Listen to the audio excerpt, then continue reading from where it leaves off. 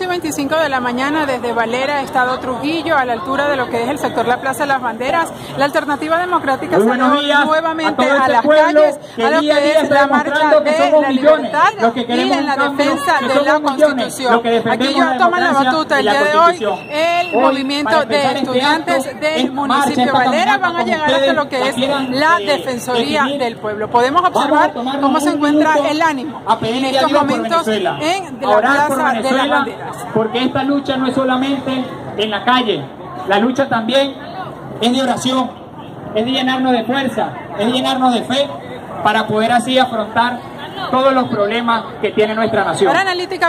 desde Valera Estado Trujillo reportó Mayra